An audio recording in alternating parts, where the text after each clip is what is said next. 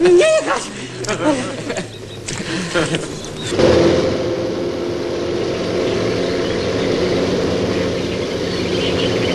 Interesowałem się tymi zagadnieniami od dawna.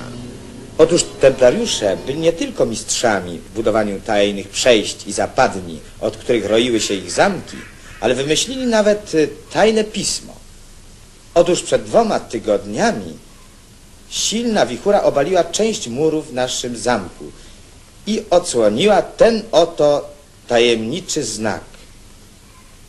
To znak templariuszy, który mówi, tu kryją się kosztowności. Ale skąd skarby templariuszy w krzyżackim zamku? Zaraz to panu wyjaśnię. Yy, otóż yy, w Europie istniały w XIII wieku aż trzy zakrwione mitów, krzyżaków i templariuszy. Oddajcie moją menażkę, no proszę. Mnie Ja się już wydaje, nie mam stary, że to trzeba iść ja absolutnie Ani prawo. tu, ani Prawo tu, trzeba stary. Trzeba iść To prosto. najpierw zobaczymy tę piwnicę, dobra? No to jak, idziemy czy nie? To zaczekajcie, zaczekajcie, najpierw wszystko zharmonizujemy i dopiero Na co będziemy czekać? Bo oni są przekonani, że tutaj coś znajdą.